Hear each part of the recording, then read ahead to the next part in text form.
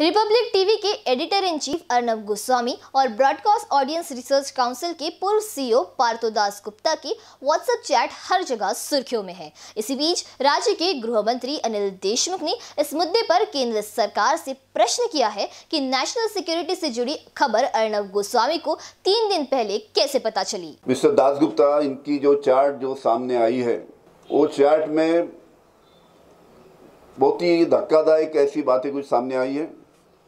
खास करके जब बालाकोट का हल्ला हुआ 26 फरवरी को बालाकोट का हल्ला हुआ। और बालाकोट का हल्ला 26 फरवरी को हुआ, लेकिन उसके तीन दिन पहले ऐसा कुछ हल्ला होने वाला, इसकी जानकारी अर्नब गोस्वामी, जो रिपब्लिक टीवी के प्रमुख है, उनको कैसे मिली? क्योंकि चार्ट में तीन दिन पहले बार के अध्यक्ष के साथ में, दास गुप्ता के साथ में बातचीत करते हुए इस बात का वो चार्ट में ज़िक्र है। हमारा सवाल केंद्र शासन के नेताओं से एक ही है, क्योंकि ऐसा है कि जब भी कोई देश, दूसरे देश पे हमला करता है तो उसकी जानकारी पंतप्रधान साहब को रहती है, उसकी जानकारी डिफेंस मिनिस्टर को रहती है, उसकी जानकारी सैन्य के जो प्रमुख है, उनको रहती है और कुछ गिने चुने लोगों को रहती है।